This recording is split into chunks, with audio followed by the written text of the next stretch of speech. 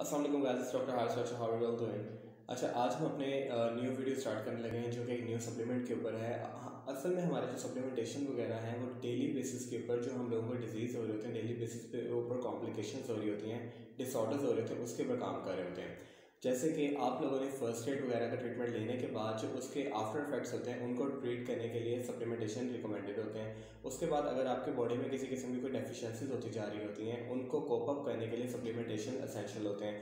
हम लोगों को पता है कि सप्लीमेंटेशन हमें वो वाले न्यूट्रिएंट्स वगैरह सप्लाई कर रहे हैं जो कि डाइट हम लोगों को प्रॉपरली तौर पर सप्लाई आजकल नहीं कर पा रही होती। क्योंकि डाइट के अंदर हम लोगों ने ऑर्गेनिसिटी को काफ़ी हद तक सप्रेस कर दिया हुआ है और हम लोगों ने इनऑर्गेनिक कंपोनेंट्स वगैरह को काफ़ी ज़्यादा मार्केट में इंट्रोड्यूस वगैरह कर दिया हुआ है। अच्छा। अब आज का जो हमारा टॉपिक है, वो बेसिकली अबाउट सी रिलीफ है, ठीक है?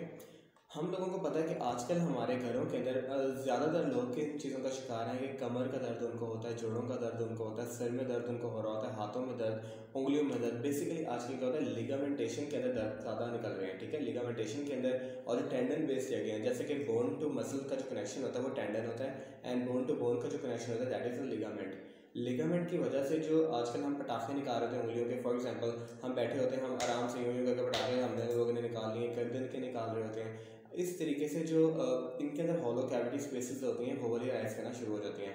जब हमारे पास एम्प्टी स्पेसेस उंगलियों के बीच में जो सनोवल मेम्ब्रेन है, वहाँ पे जो एम्प्टी स्पेसेस बनना शुरू हो जाती हैं बिल्डअप होती हैं, उन चीज़ों को फिर कोप अप करने के लिए वहाँ पे माइक्रो एयर ड्रॉपलेट्स या फिर माइक्रो एयर पार्टिकल्स आ जाते हैं, जो कि वहाँ पे आके अपने आप को फिल करना स्टार्ट कर देते हैं। जब वहाँ पे फिलअप करना वो लोग स्टार्ट कर देते हैं अपने आप को तो फिर क्या होता है? हम लोगों की अर्जेंसी होती है कि हम लोग उन लोग उन चीज़ों को ना यहाँ से रिमूव करवाएँ ठीक है? फर्स्टली जब आ, कुछ भी ऐसा नहीं होता तो हम लोगों को किसी किस्म की कोई अर्जेंसी नहीं होती हमें किसी किस्म की कोई फील नहीं आ रही होती कि हमें इस टाइप से यानी कि करें। लेकिन जब हम लोगों ने ये चीज़ को अपनी आदत बना लिया होता तो फिर इसको बाद में हम लोगों को अर्जेंसीज आती हैं क्योंकि वहाँ पर क्या होता है एयर एक्यूमुलेशन और माइक्रो एयर जो होती है ड्रॉपलेट्स एक्यूमुलेट होना शुरू हो जाते हैं और इस तरीके से वो एयर ट्रैपिंग जो होती है उसको रिमूव करवाने के लिए फिर हम लोगों की उंगलियों में क्रेविंग्स होती हैं कि हम ये वाला काम करें। पहली चीज़। दूसरी बात कि आजकल हम लोगों के बॉडी पॉस्चर्स बहुत ख़राब है, जिनकी वजह से कमरों के बहुत ज़्यादा दर्द शुरू होना शुरू हो गए हैं, ठीक है? कमर के दर्द के अंदर हमारे पास सारा का सारा दर्दें वगैरह आ जाती है, जैसे कि हम लोग मसल्स पेन आ गए बोन पेन आ गए, उसके बाद वर्टिब्रल कॉलम की डिसलोकेशन डिसफंक्शन वगैरह सारा कुछ इसके अंदर आ गया कमर के दर्दों के अंदर। उसके बाद हम देखते हैं जोड़ों का दर्द कि अगर किसी बंदे ने नमाज़ पढ़नी होती है, किसी बंदे ने कोई काम करना होता है वॉक करनी होती है, उन चीज़ों को भी वो प्रॉपरली तौर पर हम लोग सही तरीके से नहीं कर पा रहे होते क्योंकि हम लोगों को डिफरेंट किस्म की पेन्स राइज कर गई हैं पूरी बॉडी के अंदर। अगर एक छोटी सी डेफिनेशन पेन से लेकर स्टार्ट करें कि व्हाट इज़ बेसिकली पेन तो पेन के मुतालिक ये होता है कि pain is just a sensory just a sense कि वो हम लोगों को ये बता रहे थे कि there is something wrong with the body body के साथ कोई चीज़ डिस्टर्ब हो रही है, कोई चीज़ सही तरीके से काम नहीं कर रही, कोई चीज़ डैमेज हो रही है, एक ऐसी सेंस होती है पेन जो कि ये बता रही थी कि टिश्यूज से बॉडी के वो डैमेज होने के करीब हैं, ठीक है? ऑर्गन जो है वो डैमेज होने के करीब है, उस सेंस को हम पेन कह रहे होते हैं। अब बेसिकली पेन जो अराइज कर रही होती है बॉडी के अंदर, उसका ये रीज़न होता है, उसका ये वजह होती है कि वो हमारी बॉडी को अवेयर कर सके कि वो वाला जो पार्ट है, वो वाला सही काम नहीं कर रहा या फिर उस पार्ट के अंदर ये वाले मसले मसाइल अराइज करें हम सोचते हैं कि पेन किलर्स खाने से हमारी पेन ठीक हो जाती है। पेन किलर खाने से पेन ठीक नहीं होती, पेन किलर खाने से या फिर पेन किलर लगाने से किसी भी किस्म का पेन किलर ट्रीटमेंट लेने से हमारी पेन तो ट्रीट नहीं होती, लेकिन पेन सप्रेस हो जाती है। हम लोगों को जो एक आ रहा था ना सिग्नल आ रहा था उसकी वजह से कि यार, ये फॉर एग्जांपल हमारी बॉडी है, हम लोगों ने इसके, ये एक ना नर्व्स है, ये नर्व्स है कि हमारी बॉडी है। अब नर्व्स इसको बार बार यूँ यूँ करके उठा रही हैं कि there is something wrong with the body there is something wrong with the body continuously वो यूँ यूँ करी जा रही करी जा रही हैं। लेकिन हम लोग क्या कर रहे थे इसके बिहाफ के ऊपर, हम इस बॉडी को कोई ना कोई पेन किलर अप्लाई कर देते हैं तो ये जो सेंस होती है ना, ये वाली ये ख़त्म हो जाती है। सेंस ख़त्म होगी, जगह अपने, वो जो मसला है, वो अपनी जगह के ऊपर पेन अपनी जगह के ऊपर चीज़ें, अपनी जगह के ऊपर सिर्फ़ सेंसरी पेन जो हम लोगों को आ रही होती है मोटर न्यूरॉन के थ्रू वो वाली नहीं आनी। अब क्या होगा? जब पेन नहीं आना शुरू होगी तो हमें पता ही नहीं चलेगा कि हमारी बॉडी के अंदर कितना ज़्यादा मसला बनना शुरू हो गया, कितने ज़्यादा टिश्यू डैमेज हो चुके हैं और कितने फर्दर आगे जाके मज़ीद डैमेज होने के करीब हैं।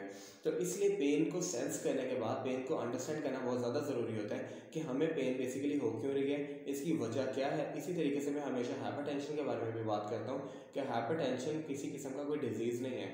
हम हाइपर टेंशन देखिए डाइट प्लान बनवा रहे थे जबकि it is not a disease hypertension disease नहीं है। हाइपरटेंशन क्या है? एक ऐसी सिम्टम है, एक ऐसा कॉज है, एक ऐसी रीज़न है कि हमारी बॉडी के अंदर अगर मसल जो ब्लड सप्लाई है प्रॉपरली नहीं हो रही एडिक्वेटली नहीं हो रही ब्लड सप्लाई के अंदर ऑक्सीजन प्रॉपरली नहीं पहुँच रही ब्लड सप्लाई के अंदर न्यूट्रिएंट्स प्रॉपरली नहीं पहुँच रहे तो वो वाला टिश्यू क्या होगा? वो वाला टिश्यू ये डिमांड करेगा ब्रेन से कि हम लोगों को इतनी ब्लड सप्लाई मिले कि हम लोग अपनी जो नीड्स हैं उनको सेटिस्फाई कर सकें। तो जब ब्रेन देखता है कि हार्ट ऑलरेडी पंप करे, लेकिन इसको ब्लड सप्लाई नहीं मिल रही तो शायद बीच में कोई हर्डल है, बीच में कोई थ्रोम्बस है, बीच में कोई कोई भी प्लाक है, कुछ भी है। उसकी वजह से ब्रेन ये क्या करता है कि प्रेशर अराइज करता है हार्ट का प्रेशर जो होता है वो बढ़ा देता है कि उस स्पेसिफिक पोर्शन तक जो है वो चीज़ बढ़ सके फ्लो की फॉर्म में। अब हमारे पास एक ही ओल्टा होती है। अब उसी ने पूरी बॉडी के अंदर डिवीज़न करके जाना है। इसका मतलब अगर हार्ट ने प्रेशर बढ़ाया तो बॉडी के हर पार्ट के अंदर ब्लड का प्रेशर इक्वली अमाउंट के अंदर बढ़ना शुरू हो जाएगा। ठीक है? तो ये चीज़ को हम लोगों को थोड़ा सा अंडरस्टैंड करना है। अब इसका रोल कहाँ पे था सीपी रिलीफ का। जब हम लोगों ने अंडरस्टैंड कर लिया कि हम लोगों को ये वाला कॉज है, इसकी ये वाली रीज़न है और ये ये करने से हम ट्रीट हो सकते हैं। तो फिर पेन की जो एक्सेसिवनेस होती है घर के अंदर बैठे हुए, उसको ट्रीट करने के लिए हम सीपी रिलीफ अप्लाई कर सकते हैं। ये एक वेपोरअप की फॉर्म में चीज़ होती है कि आप लोगों ने इसको अप्लाई कर दी और इसके साथ ही स्किन के अंदर ये एब्जॉर्ब होगी हाईली वर्सेटाइल होती है और काफ़ी आप इसको काफ़ी ज़्यादा इफ़ेक्टिव होती है इस फॉर्म में कि आप लोगों ने क्या करना है, पहले स्किन ट्रीटमेंट लेना है किस फॉर्म में मस्टर्ड ऑयल को कपड़े के ऊपर आपने अप्लाई करना है, उसके बाद आपने उसको आयरन करना है। जब उसका टेम्परेचर बियरेबल टेम्परेचर तक आ जाएगा, आपने बार बार उसको टच करके देख लेना है, ठीक है? मस्टर्ड ऑयल कपड़े के ऊपर लगाया, उसको हम लोगों ने आयरन कर लिया, अच्छी तरीके से इसरी कर लिया। इसरी करने के बाद जब वो वो अच्छा खासा गर्म हो जाएगा, उसको हम लोगों ने थोड़ा सा नॉर्मल करना है टेम्परेचर उसका रख दो कि नॉर्मल खुद ही हो जाएगा। टेम्परेचर थोड़ा सा नॉर्मल जब हो जाएगा उसका तो उसको फिर पकड़ के हम लोगों ने उस बॉडी के पार्ट के ऊपर अप्लाई करना है, जिस जगह के ऊपर पेन हो रही थी। उसके बाद हम लोगों ने उस जगह के ऊपर कैसे सीक्रेट रिलीफ अप्लाई करना है इस पर मैं आपको अनबॉक्सिंग थोड़ी सी दिखाता हूँ सीक्रेट रिलीफ की। इस तरीके से। तो इसको हम लोगों ने इस तरीके से अनबॉक्स करना है। सीपी रिलीफ को साथ साथ अप्लाई करते रहना है, ठीक है? और पीछे से हाथ फेरते रहना है, क्योंकि ये हाईली वर्सेटाइल है, साथ ही यानी कि ये लॉस हो जाता है। यहाँ तक क्लियर हो चुका है आप लोगों को तो ये बेसिकली काम था सीपी रिलीफ का।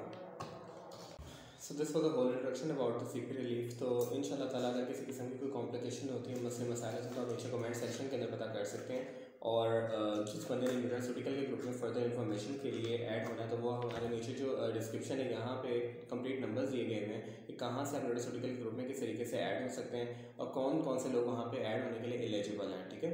तो इन ताला कोई किसी किस्म की कोई क्यूरी होती है तो आप नीचे कमेंट सेक्शन में पता कर सकते हैं और जो न्यूट्रास्यूटिकल के मेंबर्स हैं, वो न्यूट्रास्यूटिकल के ऑफिशियल ग्रुप के अंदर अपनी क्यूरीज वगैरह पता कर सकते हैं, ठीक है?